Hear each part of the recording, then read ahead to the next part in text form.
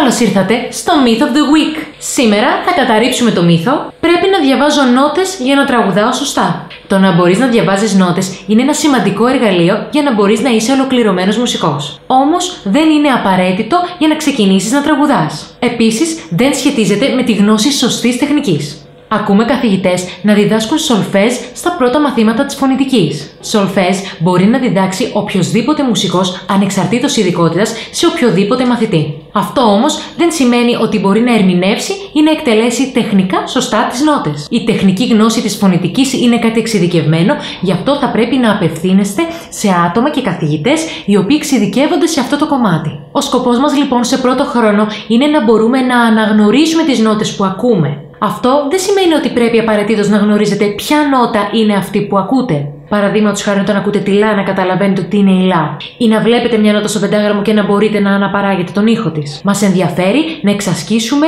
την ακουστική μας ικανότητα. Αυτό που λέμε να αποκτήσουμε μουσικό αυτή. Αυτό είναι που χρειαζόμαστε για να ερμηνεύσουμε σωστά μία μελωδία. Αυτό ήταν το Myth of the Week. Περιμένω subscribe στο κανάλι μου και τις απορίες σας στα comments. Και εσύ που βλέπεις αυτό το βίντεο, διεκδίκησε τη φωνή που σου αξίζει με το εξειδικευμένο πρόγραμμα φωνητικής Voice Access.